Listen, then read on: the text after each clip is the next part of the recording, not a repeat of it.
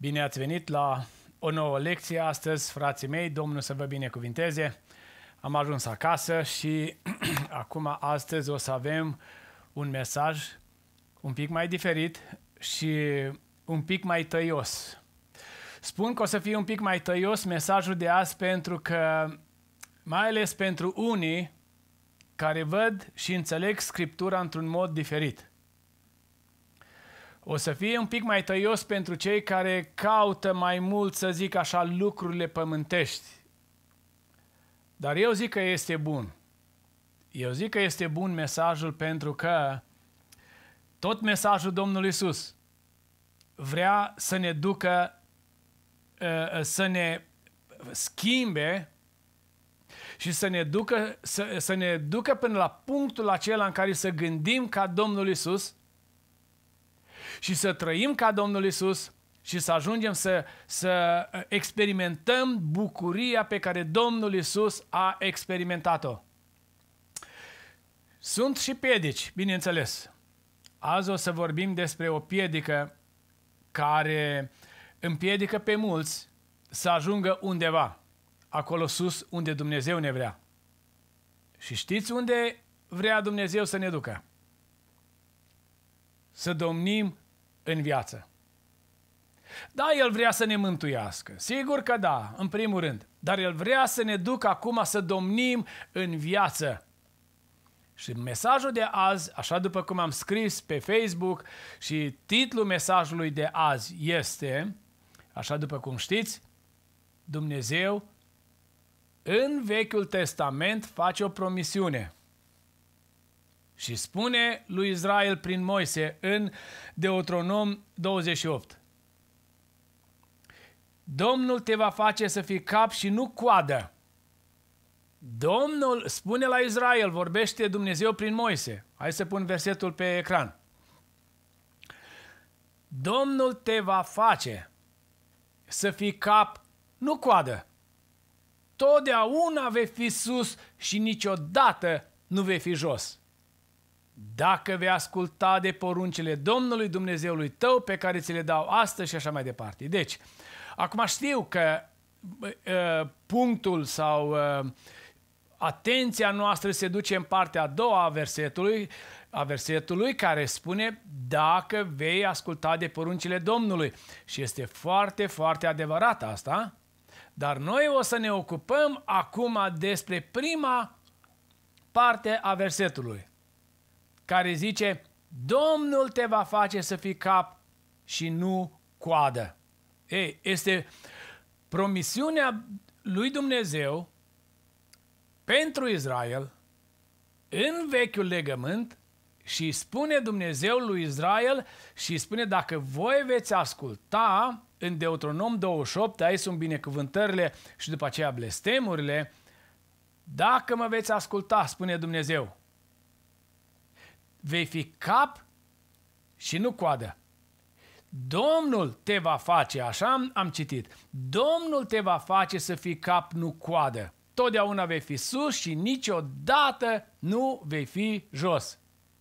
Acum, desigur, asta este promisiunea în vechiul legământ. Și azi o să mergem din vechiul în nou legământ să vedem în ce constă în ce constă a fi cap în noul legământ? În Noul Testament, în Vechiul legământ. Trebuie înțeles mesajul de azi. De cei mai mulți. Poate că unii îl cunosc așa pe din afară. O să intrăm să vedem în ce constă a fi cap în noul legământ. Deci, sunt două promisiuni pe care Dumnezeu le-a făcut.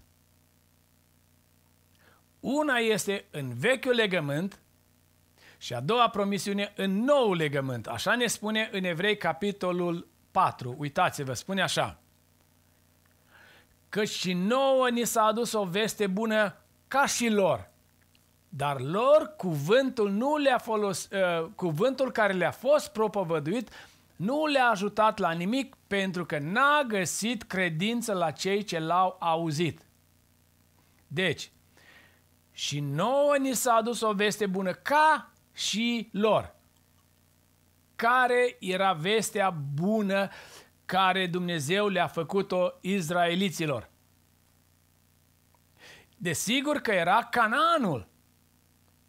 Canaanul care era împreună cu, în Canaan era laptele și mierea care curgea și toate promisiunile lui Dumnezeu erau legate de țara Canaanului. În Vechiul Testament, toate promisiunile erau în, legate de țara Canaanului. Deci asta trebuie înțeles când este vorba de vechiul legământ. În vechiul legământ nu, nu se spune nimic despre promisiunea vieții veșnice, nu se spune nimic despre nașterea din nou, în vechiul legământ nu se vorbește despre făptura nouă, ă, că ar fi așezați în locurile cerești sau a fi în Hristos sau Hristos să fie în ei. Nu se vorbește despre asta.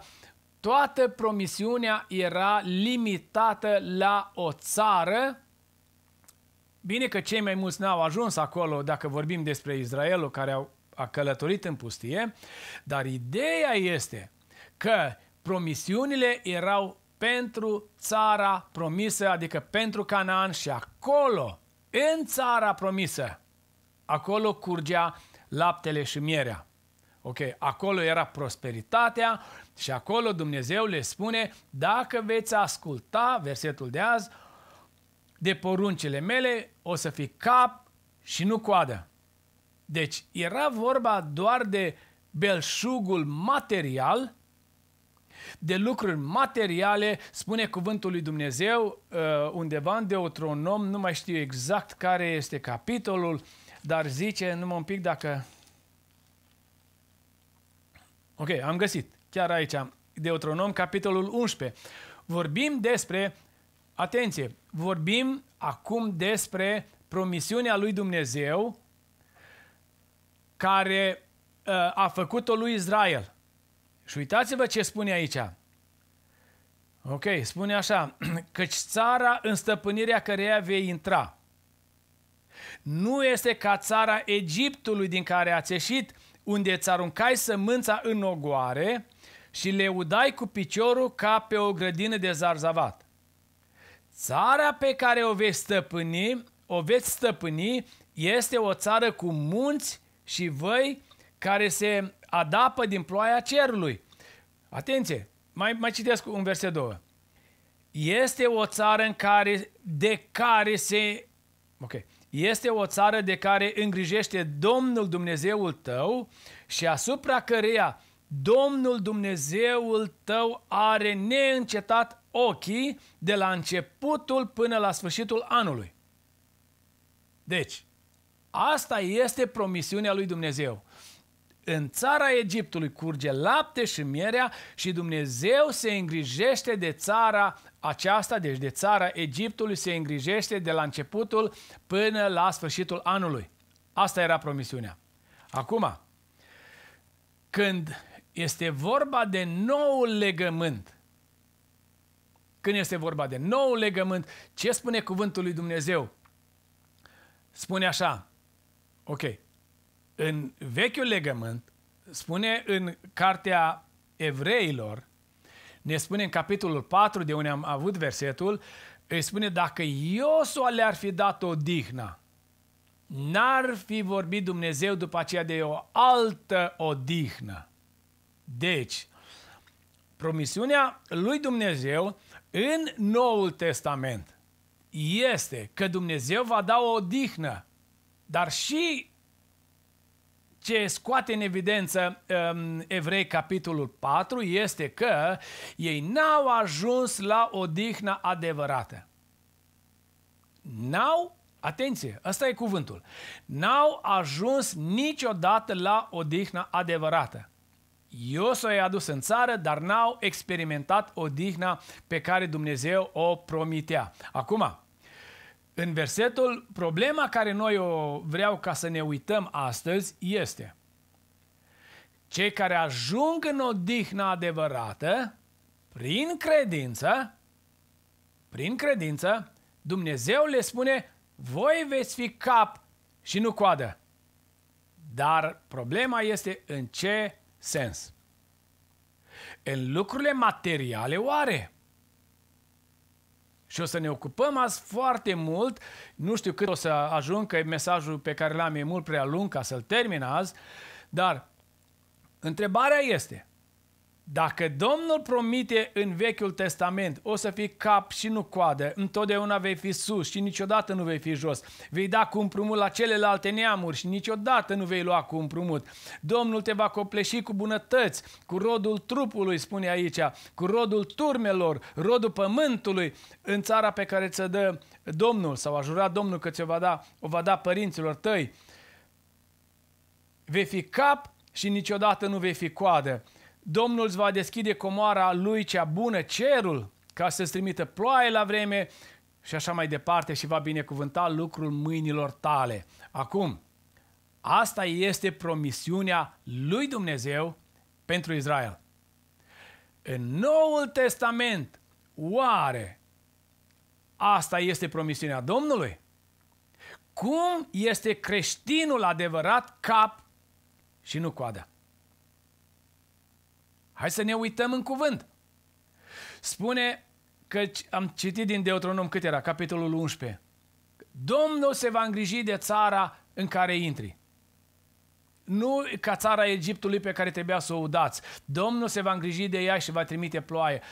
Um, în zilele de azi, dacă ai o grădină, îmi pare rău să spun, dar va trebui să o uscă dacă nu să usucă roadele cum să usucă la vecinul care e ateu sau blastămă pe Dumnezeu.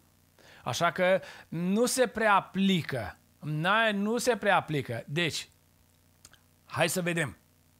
În Noul Testament, hai să vedem lucrurile materiale care își pierd valoarea. Și Domnul Isus a venit să deschidă ușa spre alte lucruri, să deschidă orizontul spre lumea care nu se vede, spre împărăția lui Dumnezeu care nu se vede. Acolo este odihna, acolo este viața, acolo ne vrea Dumnezeu să trăim. Hai să vedem ce spune cuvântul. Punem față în față Vechiul Testament și cu Noul Testament și să înțelegem ce înseamnă a domni în noul legământ. Mergem acum în, uh, în um, Eclesiastul, Eclesiastul, cartea Eclesiastului, ok, în capitolul 2 cu 24 și uitați-vă ce spune aici în Eclesiastul. Nu este altă fericire pentru om decât să mănânce și să bea și să-și înveselească sufletul cu ce este bun din agonisteala lui. Deci, Eclesiastul de câteva ori scrie asta în, în cartea lui.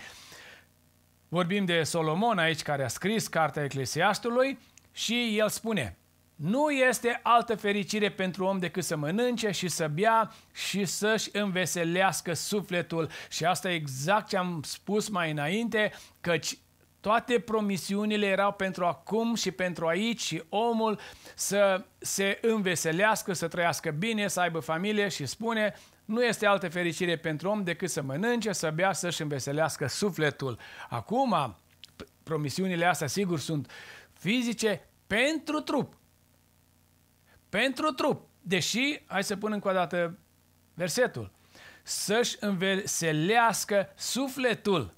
Dar promisiunile, deci mâncarea și băutura este pentru trup, este clar asta. Deci nu este altă fericire pentru om. Acum, hai să ne uităm. Așa spune Eclesiastul, Eclesiastul în Vechiul Testament. În Noul Testament, Domnul Isus ia o pildă. Și am să deschid acum în Luca, capitolul 12. și o să ne oprim și o să stăm o bucată de vreme acum în pilda asta și o să o examinăm un pic așa cum trebuie ea examinată. Deci, ce înseamnă punctul nostru de plecare, ce înseamnă a domni sau ce îns- nu a domni, ce înseamnă a stăpâni, a, adică a fi cap și nu coadă în Noul Testament. Vorbim problema banilor. De ce problema banilor a, sau a lucrurilor materiale? Că cei mai mulți, când e vorba de a, a fi cap, se duc la venitul lor, la ceea ce au ei. Și în Vechiul Testament am arătat. Domnul promite belșug în țară, belșug de bunătăți, belșug și așa mai departe. Când vine în Noul Testament, uitați-vă ce spune Domnul aici în pilda bogatului căruia i-a rodit țarina. Și o să avem câteva lucruri de învățat de aici. S-ar putea că sunt lucruri care nu ai mai auzit tu de ele. Hai să ascultăm cu atenție. Deci, unul din mulțime a zis lui Isus, vorbim despre Luca, din, citesc din Luca 12 cu 13 acum, pilda bogatului, căruia i-a rodit țarina. Deci, unul din mulțime a zis lui Isus, Învățătorule, spune fratelui meu să împartă cu mine, cu mine moștenirea noastră. Omule, i-a zis Isus, cine m-a pus pe mine judecător sau împărțitor peste voi? Apoi le-a zis, vedeți și păziți-vă de orice fel de lăcomie de bani. Primul lucru care vreau să înțelegem. Care era lacom de bani aici din ceea ce spunea omul acesta? Zicea, spune fratelui meu să împartă moștenirea cu mine. Cel care avea moștenirea sau cel care nu primea moștenirea, să nu voia să împartă cu el. Sau, deci primul frate sau al doilea frate? Nu știm. Probabil că era primul, că spune că nu voia să împartă moștenirea cu el, dar hai să mergem mai departe, imediat mai vorbim despre asta. Deci, Domnul Iisus le-a spus, vedeți și păziți-vă de orice fel de lăcomie de bani. Căci viața cuiva nu stă în belșugul avuției lui. Și le-a spus, o, și le-a spus pilda aceasta.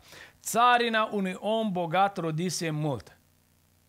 Acum, dacă luăm și punem versetul ăsta în Vechiul Testament, faptul că cuiva îi rodește țarina era o dovadă că era binecuvântat de Dumnezeu. Nu, aici am citit din Deuteronom. Dacă vei asculta de glasul Domnului, Domnul te va binecuvânta, îți va da rod, va da, îți va da ploaie la timp și așa mai departe. Omul ăsta i-a rodit țarina probabil că, Dum- probabil că Dumnezeu. Dumnezeu a făcut să-i ploaie, că ploaia face să rodească țarina, nu? Și zice că i-a rodit mult țarina. Ok? Acum, nu-i vina omului că i-a rodit țarina. Nu-i vina omului, nu-i, me- nu-i meritul. A, nu știu dacă zic, poate că e cumva meritul lui pentru că slujea pe Dumnezeu și țarina i-a rodit. Dacă luăm Deuteronom 28. În fine, și el ce spunea în continuare? Și el se gândea în sine și zicea, ce voi face, fiindcă nu mai am loc să-mi strâng rodurile? Sau roadele, rodurile, în fine. Iată a zis el ce voi face. Îmi voi strica grânarele și voi zidi altele mai mari, acolo voi strânge toate rodurile și toate bunătățile mele.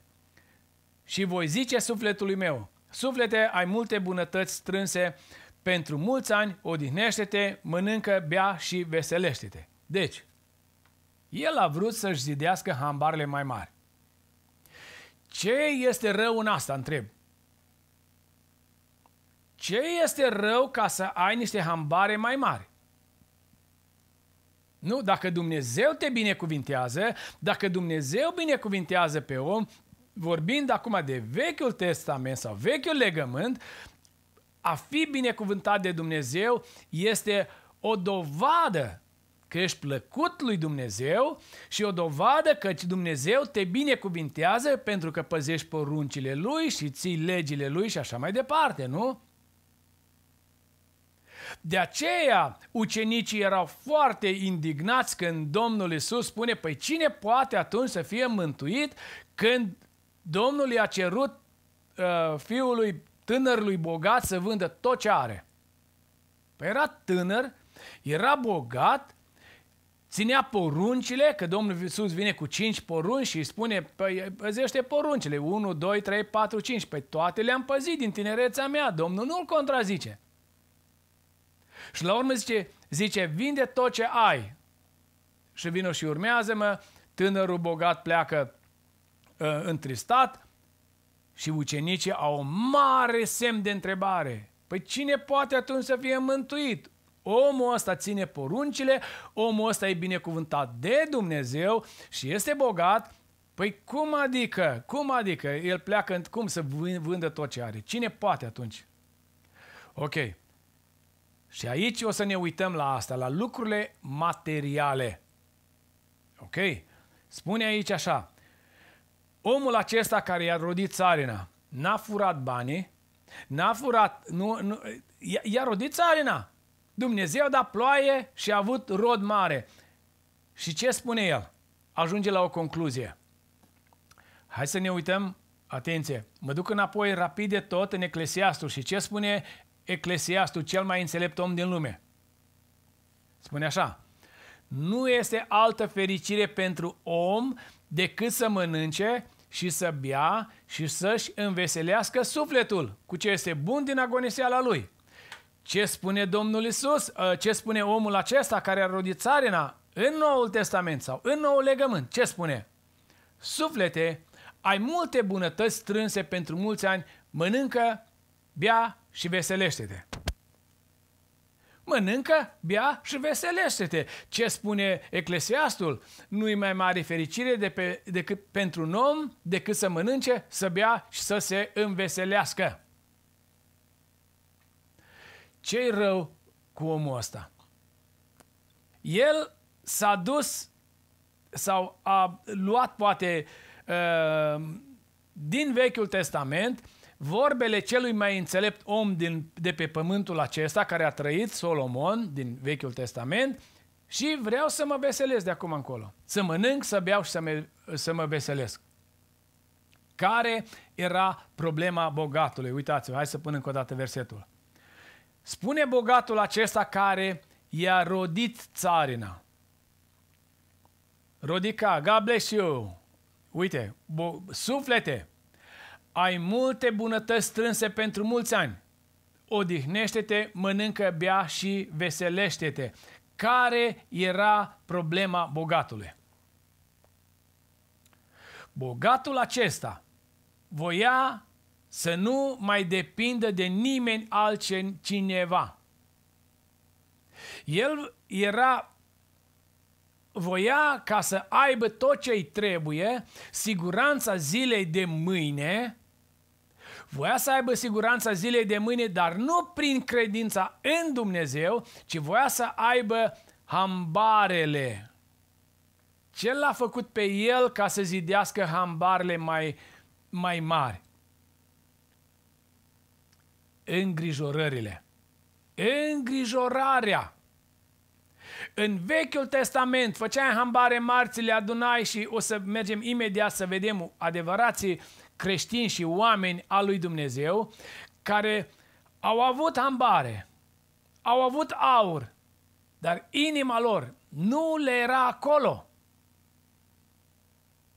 Inima bogatului era în hambarul lui în ceea ce erodise țarina, în greul lui, în porumbul lui, în cartofii lui și așa mai departe. Era el oare credincios lui Dumnezeu? Biblia nu ne spune nimic despre asta, dar faptul, faptul că vorbea Domnul Isus izraeliților, că era în Israel, și faptul că i-a rodit țarina, sunt două lucruri foarte importante să înțelegem că el era un om al lui Dumnezeu într-un sens, într-un sens. Și totuși vine Dumnezeu și spune, nebunule, Nebunule, dar dacă iai Vechiul Testament, ce e rău? Ce era rău să aibă, să rodească țarina, că nu era vina lui, vina lui în ghilimele că i-a rodit țarina, că dacă nu rodea țarina, ce se întâmpla? Dumnezeu a făcut să rodească țarina, e clar asta.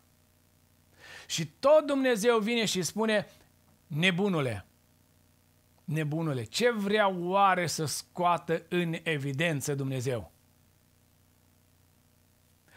Omul trebuie să fie dependent de Dumnezeu întotdeauna 100%.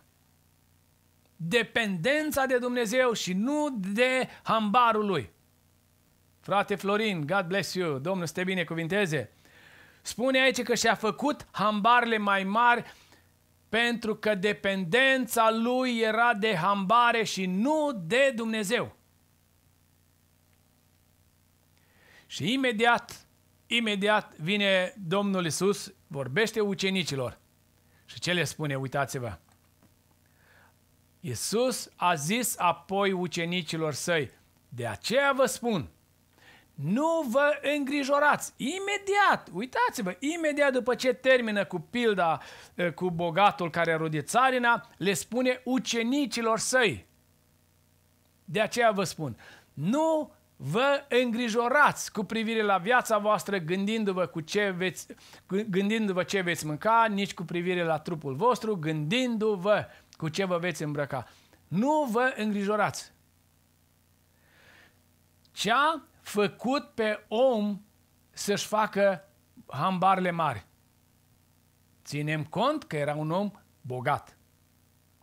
Ca să ai hambare, trebuie să fii bogat. Ca să ai țarină, trebuie să fii bogat. Dar ca să faci hambarele mai mari, problema cea mai mare. De aceea Domnul Iisus spune versetul ăsta ucenicilor, de aceea vă spun, nu vă îngrijorați.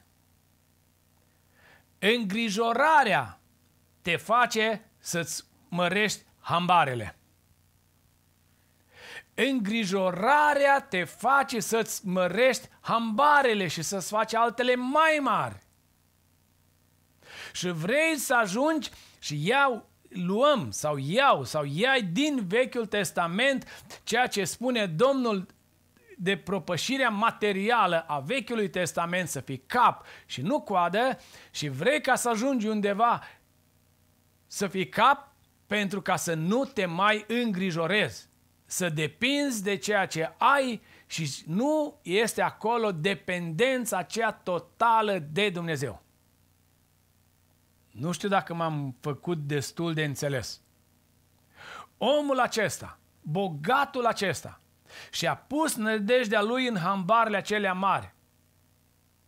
Și Dumnezeu îi spune, nebunule, nebunule, Uitați-vă ce spune, iarăși spun versetul ăsta, să mă, uh, că vreau să mă opresc la cuvintele astea. Nu vă îngrijorați cu privire la, voastră, la viața voastră gândindu-vă unde este gândul nostru. Unde este gândul nostru? La ce ne gândim? Gândindu-vă ce veți mânca, nici cu privire, uh, nici cu privire la trupul vostru, gândindu-vă cu ce vă veți îmbrăca. Hai mai un verset. Sau câte am aici, două, trei versete. Tot în Luca. În continuare, spune Domnul Isus, să nu căutați ce veți mânca sau ce veți bea și nu vă frământați mintea. Nu vă frământați mintea că și toate aceste lucruri, neamurile lumii le caută, Tatăl vostru știe că aveți trebuință de ele, căutați mai întâi împărăția lui Dumnezeu și toate aceste lucruri vi se vor da pe deasupra. Vi se vor da pe deasupra. Dar asta ia credință.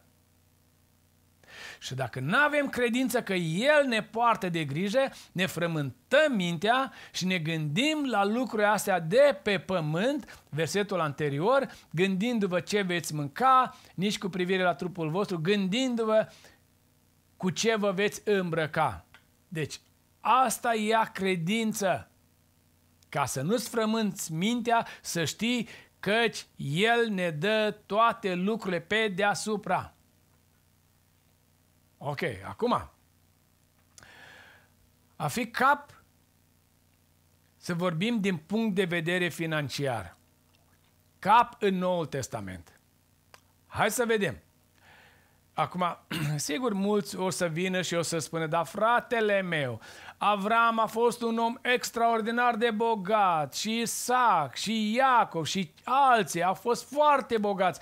Hai să vedem, hai să vedem oamenii lui Dumnezeu și mai ales hai să îl luăm un pic pe Avram. Avram a fost într-adevăr, spune acolo că era foarte bogat în aur și cămile și așa mai departe și oi și... Ok, a fost foarte bogat. Era lui inima legată de aurul acela?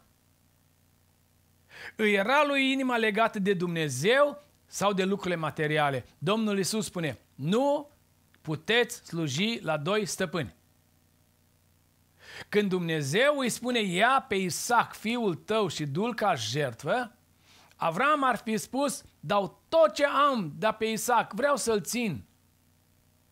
Nu, no, nu, no, nu, no, eu pe Isaac îl vreau, spune Dumnezeu, pe Isaac. Și Avram s-a dezbrăcat de sine, să zic așa, l-a dus pe Isaac ca jertvă, știm cum s-a terminat uh, uh, istoria, dar ideea care este?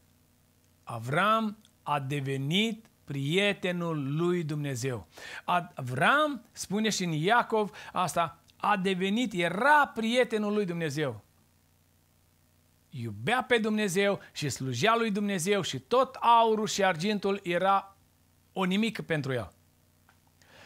Ok, uitați-vă aici. Hai să mergem. Vreau să mergem un pic la Psalmul 73. Știu că am mai vorbit un pic, nu de mult din Psalmul 73, dar uitați, vorbim aici câte ore? Mai, mai un pic, am mai un pic de timp. Vorbim de a domni în Noul Testament, în Noul Legământ, a domni. Cine domnește? Domnește Dumnezeu în viața noastră sau mamona? Pe cine îl slujim noi? Hai să vedem ce înseamnă a domni în vechi, Noul Testament. Acum ne apropiem imediat de, de punctul culminant. Psalmul 73 spune Asaf, vorbește despre Uh, zice el că era să-mi, să-mi alunece piciorul. Când? Când mă uitam cu jin la cei răi care fac răul și care propășesc și așa mai departe și nu duc lipsă de nimic, li se bulbucă ochii de grăsime și așa mai departe. Și la urmă, ce spune el? Ce spune el? În Psalmul 73, uitați-vă aici. Mi se amăra inima și mă simțeam străpuns în măruntaie. Eram prost și fără judecată, eram ca un dobitoc înaintea ta. Ok, asta este concluzia la care a ajuns Asaf. Când se uita la cei care le mergea bine, la cei care propășeau, la cei care aveau belșug în viața lor. Și apoi spune în continuare cuvântul lui Dumnezeu, zice așa, Însă eu, versetul 23, următorul verset, însă eu sunt totdeauna cu tine. Tu m-ai apucat de mâna dreaptă, mă vei călăuzi cu sfatul tău, apoi mă vei primi în slavă. Asta este domnia din Noul Testament, o citesc în Vechiul Testament acum. Asta este domnia. A domni înseamnă a fi întotdeauna cu El. Înseamnă El te apucă de mâna dreaptă, te mă vei călăuzi cu sfatul tău, apoi mă vei primi în slavă. Și mai un verset, mai multe versete foarte frumoase aici și spune aici, pe cine am eu în cer afară de tine și pe pământ nu-mi găsesc plăcerea în nimeni decât în tine. Spune Asaf. Și ultimul verset îl am aici, versetul 28, zice, cât pentru mine, fericirea mea este să mă apropii de Dumnezeu. Pe Domnul Dumnezeu îl fac locul meu de adăpost. Atenția! Cât pentru mine, fericirea mea este să mă apropii de Dumnezeu. Fericirea nu în ceea ce am eu, Fericirea nu în ceea ce aveau alții, cum uh, uh, dacă luăm Psalmul 73, fericirea este în a ne apropia de Dumnezeu, în a fi cu El. Când omul este îndrăgostit, este îndrăgostit de o persoană, fie că e bărbat, fie că e femeie, depinde, ok, bărbatul de femeie, femeia de bărbat, ok, să înțelegem asta. Deci, dar când cineva este îndrăgostit, lucrurile materiale au foarte puțină valoare, aproape deloc. El e îndrăgostit și nu contează dacă dă bani în, să cumpere flori sau să cumpere ceva la persoana de care e îndrăgostit și așa mai departe. Deci cât pentru mine fericirea mea este să mă apropii de Dumnezeu. Următorul verset, hai să trec rapid de tot, mai am două, trei versete. Spune Psalmul 4 cu 7. Tu îmi dai mai multă bucurie în inima mea decât au ei când li se înmulțește rodul grâului și al vinului. Tu îmi dai mai multă bucurie în inima mea. Atenție! Nu, în vechiul legământ, repet, Domnul a promis belșug de toate felurile, să zic așa. Dar în noul legământ, bucuria o dă Dumnezeu. Bucuria care vine de la El. Este greu, este foarte greu, este imposibil, zic eu, să găsești prosperitatea din Vechiul Testament în Noul Testament. Eu, nu, eu nu o găsesc. Dar a domni ce înseamnă a domni? Hai doar un pic trec la spre sfârșitul, asta o să revin data viitoare de, cu partea a doua a mesajului, dar ce înseamnă a domni în noul legământ? Ce înseamnă a domni? Uitați-vă, să fii mare, să fii primul, să ai bani mulți, să fii în vârful piramidei? Eu nu zic dacă cineva are bani, dacă cineva, să zic așa, îi merge bine business-ul, nu zic eu de asta. Poți să fii, poți să fii cap și nu coadă și în lumea asta. Nu, asta e problema. Problema este să fii cap în, uh, din punctul de vedere al lui Dumnezeu. Să fii cap în lumea spirituală, să zic așa. O să mai accentuez data viitoare, dar acum, uitați-vă, mergem la, la ceea ce spune Domnul Iisus lui, lui Ioan și lui Iacov. Și spune așa, de fapt spune ucenicilor, după ce ei vin și spun că vrem unul să stea la stânga și unul la dreapta, spune, oricare va vrea să fie mare între voi, cine vrea să fie numărul unu, cine vrea să fie mare, să fie slujitorul vostru.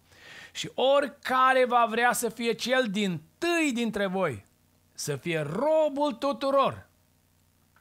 Atenție! Acum, când vorbim despre a fi cap, vrei să fii cap în care lume? În lumea care se vede sau în lumea care nu se vede? Sunt lucruri care se văd, sunt lucruri care nu se văd. Lucrurile care se văd sunt vremelnice, cele care nu se văd sunt veșnice. Așa citim în, în, în, în 2 Corinteni. Acum, vrei să fii cap în lumea care se vede sau vrei să fii cap în lumea care nu se vede?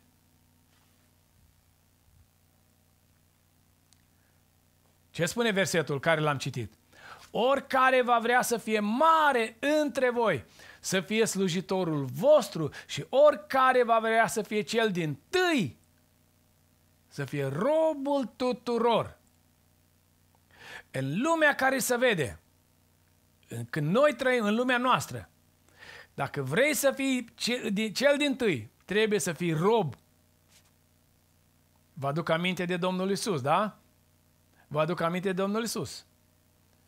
A fost Domnul Isus mare în lumea asta sau uh, el a așteptat altă lume? Știm asta, știm asta. A fost robul Domnului, robul tuturor. El spune că n-a venit, fiul omului n-a venit să îi se slujească, ci el să slujească la mulți. Ok? Asta este. Acum, a fost Pavel cap în Noul Testament. Întrebarea care am pus-o și pe Facebook. A fost Pavel cap în, în Noul Testament. Vorbim în Noul Legământ. Pavel, a fost el cap sau ce a fost el? Că alții unii o să zică, da, dar Pavel este o excepție, el a fost marele... Stai un pic, stai un pic. Deci Pavel care a umblat, în, să zic așa, în centru voii lui Dumnezeu, l-a făcut Dumnezeu cap pe el sau l-a făcut coadă? Nu e o excepție, nu există excepție. Nu, promisiunile lui Dumnezeu toate sunt da și amin pentru toți. Și pentru Pavel, și pentru tine, și pentru mine. A fost Pavel cap. Asta e întrebarea. Hai să vedem.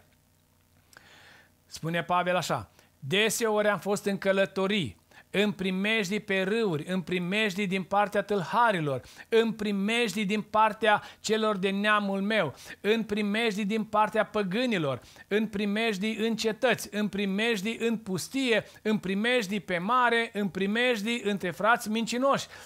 Uitați-vă cum a umblat Pavel. Cât de mare, unde era el cap oare?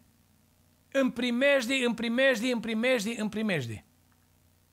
O? Hai să vedem mai departe. Alt verset. Versetul ăsta, 27. În osteneli și necazuri, în priveghiuri adesea, în foamete și sete, în posturi adesea, în frig și lipsă de îmbrăcăminte.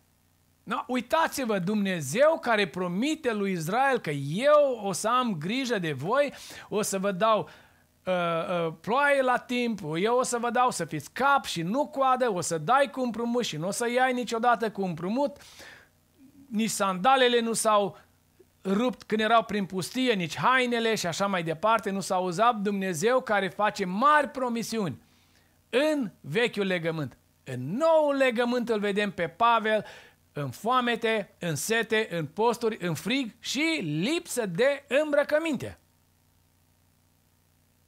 Era Pavel cap sau era Pavel coadă? Hai să ne gândim. Hai să vedem. Imediat dăm, dăm răspunsul. Imediat. Să nu credeți că uh, să nu credeți că Pavel a fost coadă sub nicio formă, în niciun caz. Dar uitați-vă prin ce a trecut el. Următorul verset.